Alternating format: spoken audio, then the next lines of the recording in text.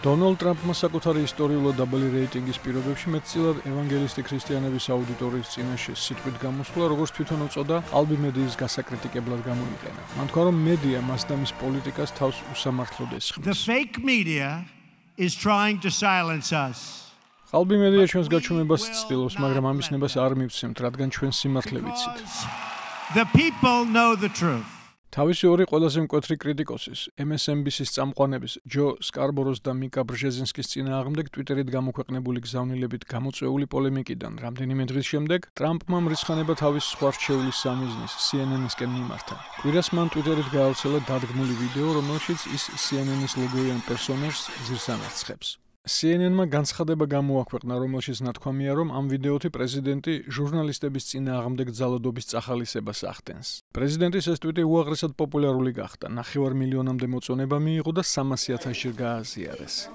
თეთრი სახლის პრესკონფერენციები უფრო იშვიათი, უფრო დაპირისპირებული და მედიის მუშაობის მიმართ მზარდად კრიტიკული გახდა. ფიქრობ მართლა კარგად უნდა დავუკვირდეთ, რაზე ვამახვილებთ ყურადღებას, რას ვაშუქებთ და უზრუნველყოთ, რომ ეს ზუსტად და პატიოსნად გაკეთდეს.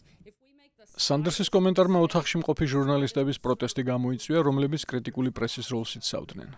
I think to ask you questions. Right. ჩვენ აქ კითხების დასასმელად ვართ, თქვენ კი პასუხების გასაცემად. თქვენ კი ახლა რაც გააკეთეთ, ქვეყნის მთელი მოსახლეობისთვის გამაღიზიანებელია, რომელიც ამას შეხედავს და იტყვის, ხედავ?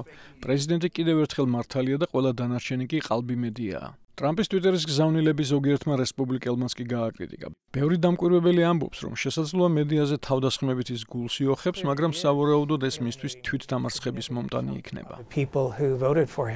აშკარაა, რომ ტრამპი იმ ადამიანების მნიშვნელოვანი ნაწილის გაუცხოებას იწვევს, ვინც მას შემოდგომაზე ხმა მისცა. ზოგადი პოპულარობის თვალსაზრისით ის თაობების ცხოვრებაში ყველაზე არაპოპულარული პრეზიდენტია.